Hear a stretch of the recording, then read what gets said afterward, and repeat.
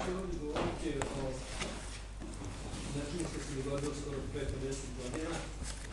Reč je o prevodu Romove knjige Zdravo društvo.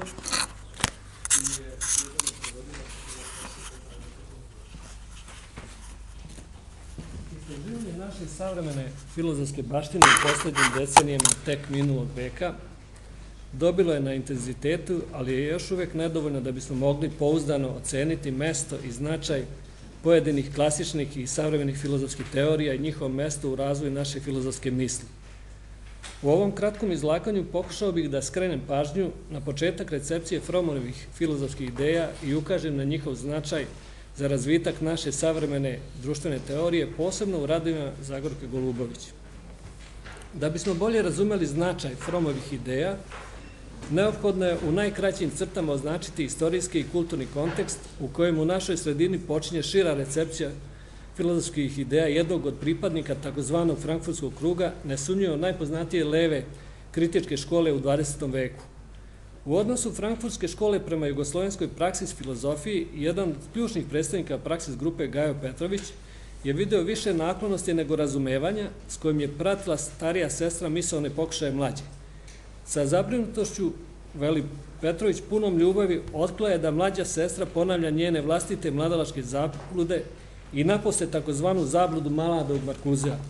Tako se u zagrebačkoj filozofiji prakse videlo ponekad heideggerizirajuća interpretacija Marksa, a ponekad i antropocentrična filozofija kod koje se pod izgovorom destaljinizacije bacaju vodu bitne pozicije marksizma.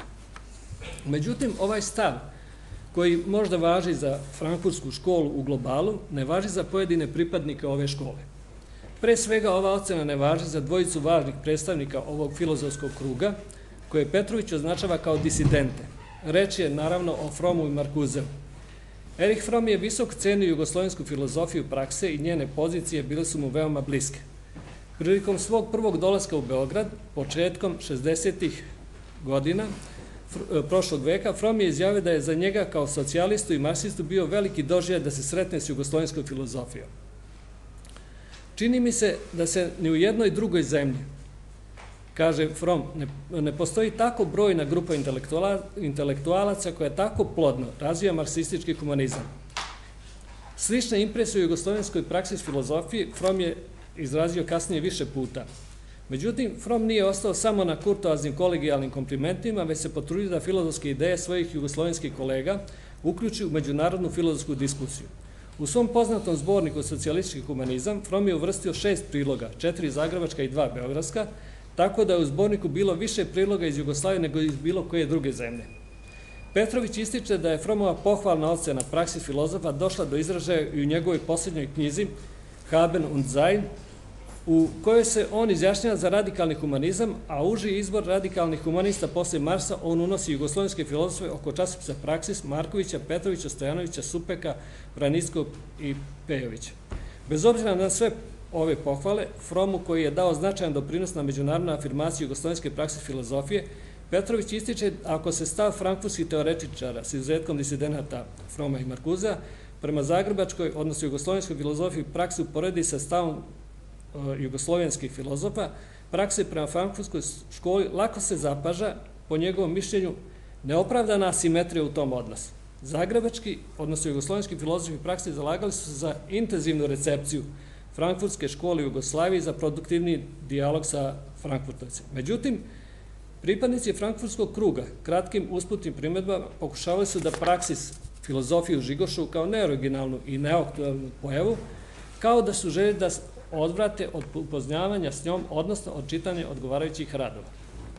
Ako tragamo samo za filozofskim motivima, zbog koji su predstavnici Frankfurtskog kruga ili bar jedan značajan broj ovih filozofa odbijali dijalog s jugoslovenskom praksis filozofijom, čini nam se da u Petrovićevom razmatranju odnosa ovih dveju filozofskih struja nalazimo jedan motiv koji je veoma važan za našu temu, odnosno za razumevanje zbog čega je upravo From naišao na tako široku recepciju u našoj sredini početkom 60. godina prošlog veka.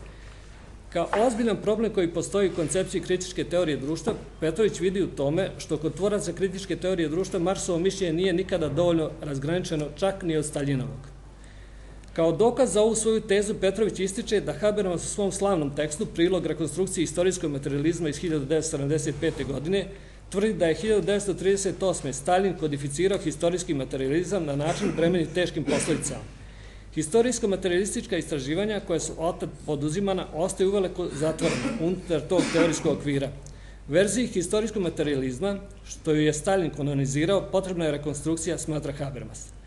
Nasuprot ovoj Habermasovoj zamisli, Petrović ističe da je temeljni projekat Praksis filozofije bio u tom pogledu sasvim drugčiji, da je još od 1950. godine sadržavao principijalnu destrukciju Stalinove interpretacije Marsovog mišljenja, kao i radikalnog razračunavanja s marksizmom druge i treće internacionale, kako bi obnovili autentično Marsovo mišljenje i iskoristili ga kao potice za dalje samostalno mišljenje o problemima savremenog sveta i čoveka. Petrović smatra da su kao činjenicu, koja se nakladno ne može poništiti, Frankfurtovci prihvatili ne samo razvitak od Marsa do stalinizma, nego i razvitak savremene marksističke filozofije od njenih širih ontološko-antropološki zasnovanih oblika do jedne potpuno ili napolo pozitivističke filozofije koja se svodi na teorijsko zasnivanje nauka i na logičko-metodološku diskusiju. Stoga su oni kao gnjavažu doživljavali i zahte za raspravljanje probleme ontologije i filozofske antropologije ili za diskusiju o strujanju kao što su fenomenologija, filozofija egzistencije, mišljenje i bivstvanje.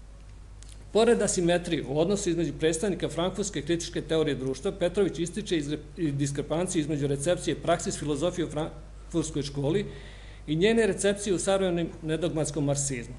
Tamo gde su frankfurtovci videli samo oživljavanje starih, davno prevladanih zabluda, drugi su poput Lefevra i Bloha videli originalno i samostalno mišljenje u duhu Marksove filozofije.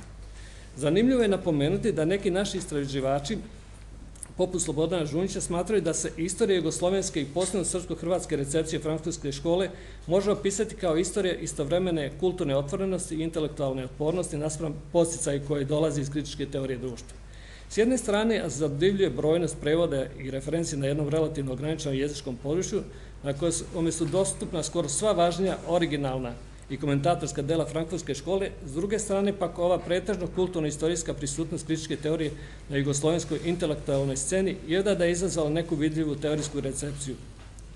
Tako, na primjer, Žunić ističe da se može uočiti to samo u graničanom obliku delovanja kritičke teorije preko nekih manje tipičnih predstavnika, narešto Erika Froma i Herberta Markuzea.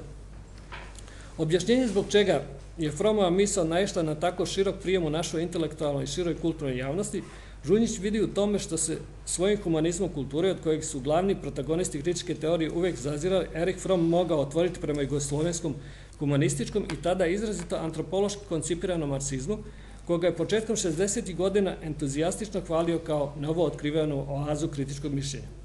Ovaj Fromov entuzijazam našao je svoj ništa manje oduševljenje od njih preko srpsko-hrvatskih prevoda, brojnih prevoda, njegovih spisa u kojima je biološki determinizam, nagonski struktura iz jugoslovenske perspektive bio pandan materialističkom i ekonomskom determinizmu dijamata, podvrgnut relativizaciji uz pomoć obrazaca humanizacije. Međutim, u celini uzje po mišljenju ovog autora, Fromov utjecaj bio više širok nego dubok i ostaje upućen na van filozofska područja.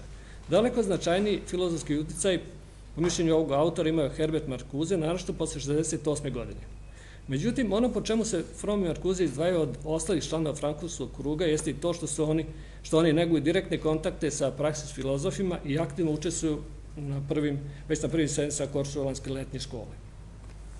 Kao što sam pomenuo, prva Fromova knjiga koja se 1963. godine, dakle skoro pre pola veka, pojavila na našem jeziku, bila je Zdravo društvo, koju su preveli profesorka Zagorka Golubović i Anđelija Todorović. Za kratko vreme From je postao, stekao veliku popularnost u našoj sredini i ubrzo su prevedene još dve Fromove knjige Bekstvo slobode i Čovjek za sebe, koje su koje sa prvom čine trilogiju i spadaju po mišljenju Zagorke Golubović u najznačajnije dele ovog autora. Ako kažemo da je 1965. godine prevedena i knjiga koju je From napisao sa Suzuki Zen Budizam i psihoanaliza, onda možemo reći da je počeo 63. do 66. godine, svake godine je kod nas prevedena po jedna Fromova knjiga.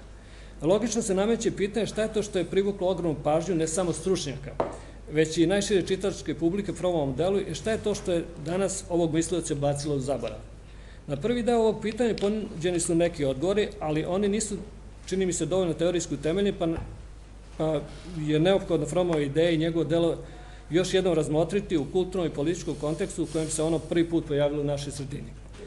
Treba reći da je Zagorka Golubović, da Zagorka Golubović nije bila samo prevodilac Fromovog zdravog društva, već i u svom predgovoru pod naslovom humanistička psihoanaliza Eriha Froma, Froma prvi put u našoj javnosti predstavila glavne filozofske ideje ovog mislioca.